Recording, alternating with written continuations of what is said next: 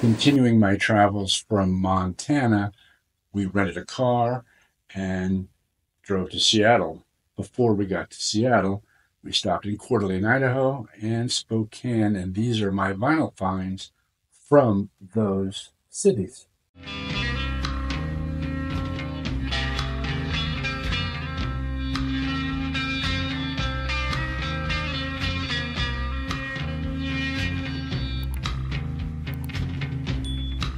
First place we got to in Coeur d'Alene was the only record store we found in Coeur d'Alene, Idaho, and it's called the Long Ear. It was a good record store. It had a good collectible section. Right when you walked in, you looked left, and they had a couple bins of all their high-end collectible. That's usually what I look for right off the bat. I asked them if they had any more collectibles, and they said that was it.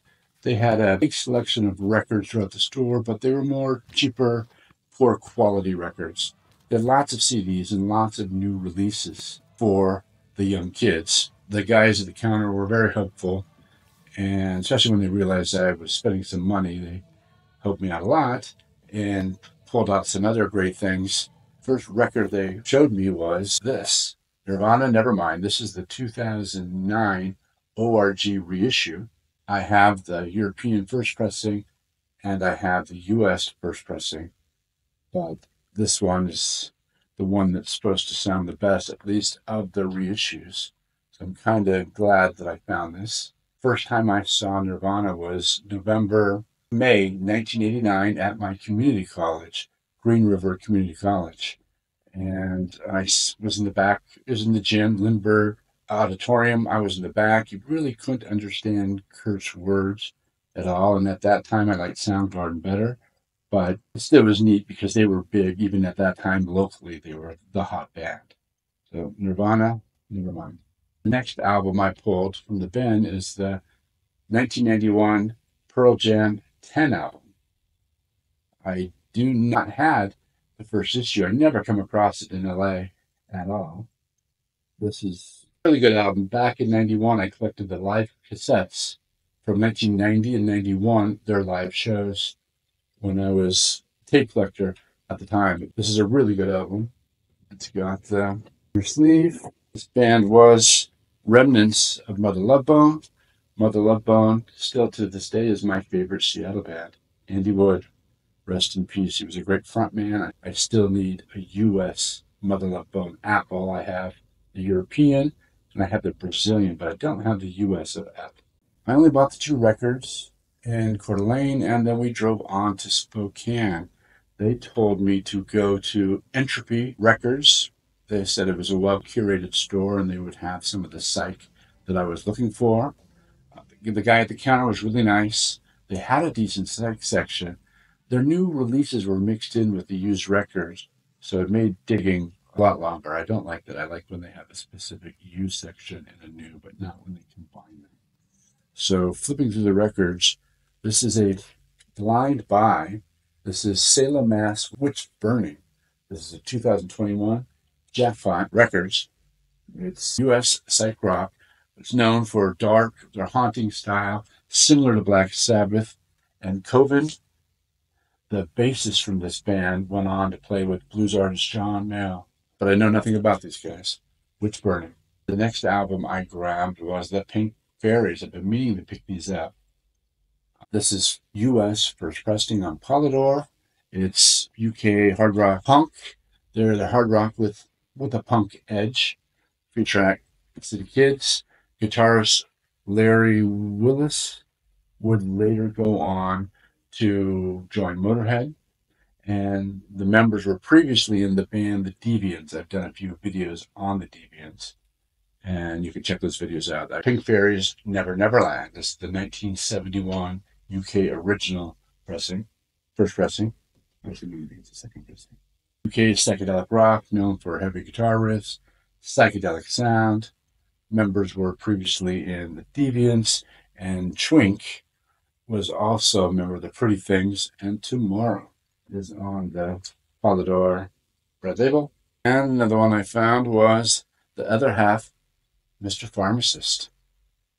This is on the Eva Records. It's a 1982 French reissue. Now, this one Eva Records, they were subsidized by the French government. By they issued a series of records. I have Chocolate Watch Band, 13th Floor Elevators. They were unauthorized and they're, they're mastered from original pressings of the records. Ava Records helped kickstart the 60s band garage revival of the 80s. This is garage rock, psychedelic rock, known for the song Mr. Pharmacist, that famously covered by The Fall.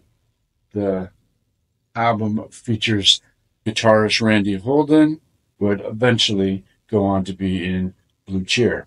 The other half, Mr. Pharmacist, Ava Label. Other half, this is uh, Atco, 1968, U.S. psychedelic rock. This is their original album. Again, this is psych rock with blues influences. Jeff Nolan was previously in the band Sons of Adam, who are famous for covering Arthur Lee's penned Feathered Fish, the other half. After digging around for a while, the last record that I found at Entropy was a great one. It is Dead Moon Stranded in the Mystery Zone. This is 1991, sealed, never opened, on Tombstone. I have the reissue on Mississippi, which is doing all the reissues of this, but this is an original 1991. That would be like the first time I saw the color box in Seattle. I remember, I remember thinking these these people are old. The opening band was young. I think I knew the opening band, but it was great. I saw them four or five times after that and became a big fan of Dead Moon. And that's right when this album came out, 1991. Dead Moon. And then Resurrection Records was the next one that I went to. I didn't have much time. They were all closing. Everything seems to close at six in Spokane. Uh, it was a well organized store with a lot of genres. It focused on punk. The owner, I think he was was very nice. He looked like a former punk rocker, current punk rocker. I think his name was Mike. Really nice, and it was very knowledgeable. And I just kind of went in and went through the punk section. And just said I was looking for some psych, and he kind of pointed me in the right direction. And then I kind of thumbed through the psych section. Didn't see anything I really wanted. And then by the time I finished that, he had pulled out a few records. Thought that I might like them, and so these are those records. December's Children this is a 1970 US original pressing on mainstream. I love mainstream label. It has so many good, interesting albums. This is US Psych. They're, they've got a melodic psychedelic rock sound. They're similar to Jefferson Airplane and the Byrds. The guitarist Bill Rhodes was previously in the band The Fenwicks.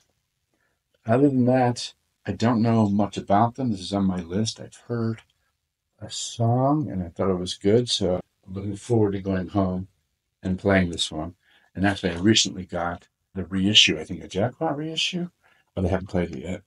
But now I have the original, so I'll be selling that reissue on mainstream. Okay, and another one that he had in the stack was Rebirth the Children. This is 1968 on Atco, US psychedelic rock. It's a blind buy. I've never heard of this.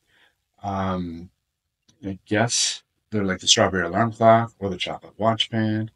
The Still in the Shrink, Rebirth, The Children, Blind Buy on Atco. I'm assuming what a yellow label. Yep. Another one he had was Giant Crab, Cool It, Helios. This is a 1969 original on Uni. Which probably has that. Yeah, it's got that famous U label. It's a blind buy. I don't know anything about it. I guess it's psychedelic and soul with funk influences. Um, they said a similar arch line, the Family Stone and Iron Butterfly. Should be interesting. Blind buy. Helios Giant Crab. I'm assuming the band name is Giant Crab and the album's called Helios. First got into the store, I asked the owner if he had any Dead Moon, and he immediately brought me and asked if I heard about King Bee, which I've never heard of King Bee. I guess it just recently came out. Is recordings of Fred Cole's band from 1977 and 1978. And Fred Cole was the founding member of Dead Moon, and also um, the Lollipop Shop, and then Weeds and Rats after this album. But this is cassette recordings but the vinyl. This came out, I think, a couple years ago. I never heard of it. I'm looking forward to digging into this because I like everything Fred Cole. And he also he gave me this record, Boy Wonders Love, which was Andrew Loomis's band before Dead Moon. He was the drummer of Dead Moon, who has since passed away. I know nothing about it, but this came out. This was reissued in 2017, and he was the drummer at Dead Moon. This should be interesting. As I was digging through the metal section, I came across Queensryche Rage for Order. This is the 1986 album, and this one is sealed with the hype sticker and it's promo stand. I love Queensryche, but I, I'm more into their 1982 EP on 206 Records that later went to EMI. Their first EP. I I first heard that in Junior High, and that is my favorite era. That and the album The Warning. This came out after that.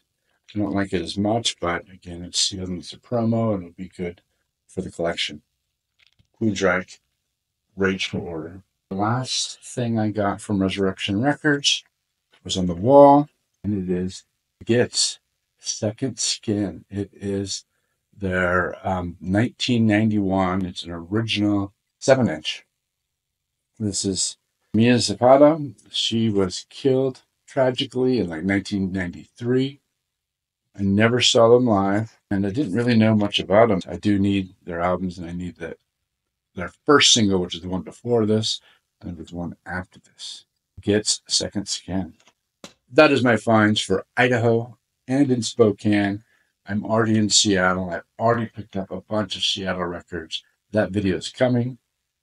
Like and subscribe, and I will see you on the next one.